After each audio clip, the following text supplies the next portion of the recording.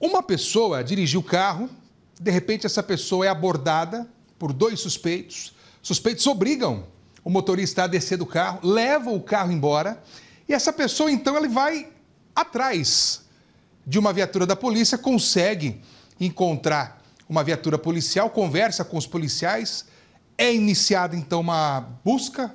A polícia consegue encontrar o carro que havia sido roubado. Um adolescente um outro sujeito aí de cerca de 19 anos, polícia agiu muito rápido em Felipe Bambassi.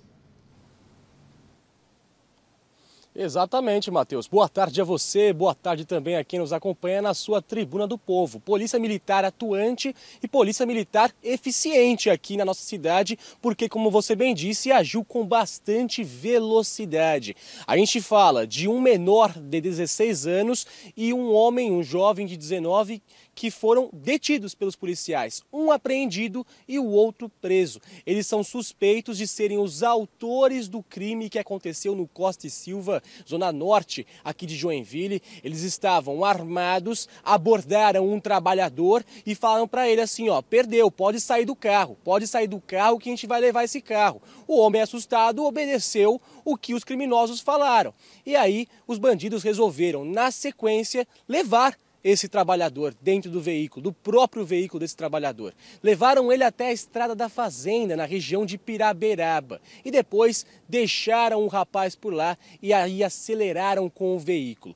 O tenente Moisés está do meu lado, eu estou aqui no oitavo batalhão da Polícia Militar da nossa cidade. Ele pode dizer um pouco para a gente o que aconteceu logo depois que o trabalhador foi deixado na estrada da Fazenda. Muito boa tarde a você, Tenente Moisés, e obrigado por atender a Tribuna do Povo.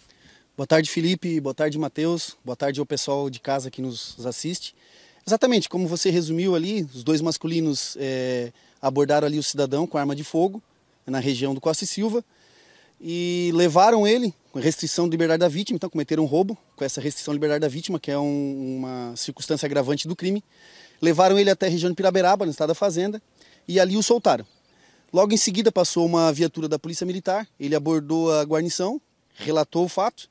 De imediato essa guarnição já comunicou à central de emergência, onde foi passado essa informação para todas as outras viaturas. Inclusive foi empenhado seis viaturas de área, o tático Canil e também o Águia, que foi fundamental para encontrar esse veículo.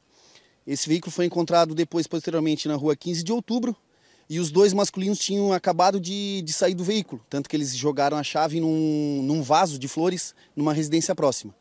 Aí eles foram identificados, confessaram o crime. A arma, infelizmente, não foi encontrada. Provavelmente eles abandonaram essa arma em alguma uma outra região, algo nesse sentido. E eles foram conduzidos até a central de polícia para a lavratura do flagrante. A grande verdade é que deu muito ruim para esses criminosos que abordaram o trabalhador, levaram o carro desse trabalhador, mas eles não contavam com a velocidade com que a polícia conseguiu acabar com esse caso, desvendar o caso e chegar até esse menor de idade e também esse jovem de 19 anos. Aí, tenente, fica a questão dessa agilidade e a importância dessa força-tarefa envolvendo o canil, envolvendo também o helicóptero Águia da Polícia Militar, que foram de fundamental importância nesse trabalho trabalho. É, exatamente. Como foi falado ali, a, o cidadão teve sorte né, de ter encontrado a viatura rapidamente, senão ele teria que ter ligado 190, poderia atrasar um pouco mais ali as nossas diligências no local. Mas nessa situação ele ah, conseguiu achar a viatura, encontrou a viatura ali, próximo do local, e como a gente tem um rádio comunicação, foi repassado para outras viaturas, foi feito o cerco. O Águia ajudou muito nessa situação, onde foi encontrado o veículo ali rapidamente. Excelente, tenente. Tem um outro caso, Matheus, que eu quero abordar aqui na Tribuna do Povo, que aconteceu na zona sul da nossa cidade. Um rapaz, um mandado de prisão em aberto por roubo e associação criminosa. Foi detido pelos policiais militares que receberam uma denúncia, né, tenente?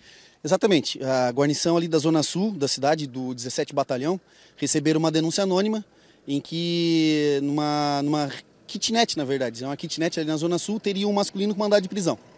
Diante dessas informações, a guarnição foi até o local, bateu palma, chamou por alguém, um dos moradores é, veio até a guarnição, eles perguntaram se o masculino de nome tal estava morando ali, o cidadão indicou que sim, e indicou ali a casa onde ele estava, poderia estar, né? Então a guarnição entrou ali no local, com a autorização desse primeiro morador, bateu na porta da, da, da kitnet e o cidadão veio abrir, ab, abriu a porta, e se identificou e realmente ele tinha mandado de prisão contra ele, justamente pelo, pelo crime de roubo e associação criminosa. Ao lado da kitnet dele tinha uma construção, os dois policiais conseguiram identificar uma motoneta bis desmontada, e aquilo já gerou uma suspeita. Verificaram pelo chassi da moto e ela se tratava de, um, de uma moto bis com risco de furto e roubo. O masculino com mandado de prisão informou que tinha recebido essa moto em conta de dívida por 700 reais. Então, nessa situação, a moto vale bem, vale bem mais do que isso, né? cerca de 7, 8, 9 mil reais.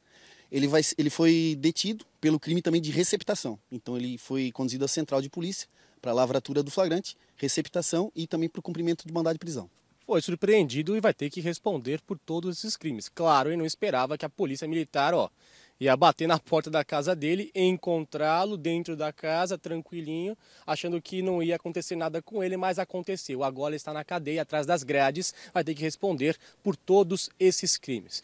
E, tenente, eu quero aproveitar o momento aqui e falar com o pessoal da Tribuna do Povo, que está acontecendo desde ontem, né? Um treinamento para que os policiais possam se tornar sargentos. Explica um pouquinho pra gente. É um treinamento que está acontecendo não só aqui no 8 Batalhão da Polícia Militar, mas em todo o nosso. Exato, Felipe. É, só corrigindo, não é um treinamento simples, é um curso de formação. Esse curso de formação é feito em duas etapas. A primeira etapa ocorreu em Florianópolis. Foram três meses em que esses policiais estão recebendo capacitação para se tornar sargentos, para estarem à frente da, das tropas, do soldado e do cabo, é, em, vários, em várias situações, tanto administrativa como no serviço de polícia ostensiva. Eles vão terminar agora o curso aqui no 8 Batalhão, que é da, pertence à 5 Região, o 5 Comando Regional de Polícia Militar. São 40 alunos soldados que estão aqui terminando o curso e são 357 espalhados em todo o estado. A maioria desses policiais que estão aqui, ele já pertence à nossa região. E eles vão, além de terminar a sua capacitação aqui com vários, várias aulas, é, técnicas policiais, APH tático, inteligência policial, direito administrativo e outras, e outras matérias também. E além disso, eles serão empregados nos eventos que ocorrerão aqui na cidade. Exemplo disso, o nosso festival de dança que vai ocorrer no mês que vem. Super interessante, Tenente. Parabéns a todos que estão participando desse curso de formação e agora trazendo a informação já corrigida. E também parabéns a todas as equipes da Polícia Militar que se empenharam nesses casos, que foram muito bem descritos pelo Tenente Moisés. Parabéns a toda a equipe, porque é um trabalho eficiente que a gente acompanha diariamente aqui na nossa cidade e é muito bem feito pela nossa Polícia Militar, viu, Tenente? Parabéns para vocês, para toda a equipe e obrigado por atender a gente na Tribuna do Povo. Eu que agradeço, Felipe. Novamente a oportunidade de, de demonstrar o nosso trabalho aqui na TV e salientando novamente, como a gente sempre fala, né, sobre a importância das denúncias. Justamente por essa denúncia anônima que a gente conseguiu fazer a prisão desse masculino hoje de manhã. Então a gente pede sempre o apoio da comunidade para denunciar tudo aquilo que estiver fora do controle ou suspeito. Perfeito, tenente. Dado o recado a você. Matheus, volto contigo. Obrigado, Bambassi. Obrigado ao Tenente Moisés. Parou ali o trabalho dele, que é tão importante para dar atenção para a gente, para poder dar o recado para você que está assistindo a Tribuna do Povo. Afinal de contas, a polícia trabalha para a população. E não, não à toa, a população de Joinville está muito bem protegida por conta da nossa polícia, que é de uma extrema competência.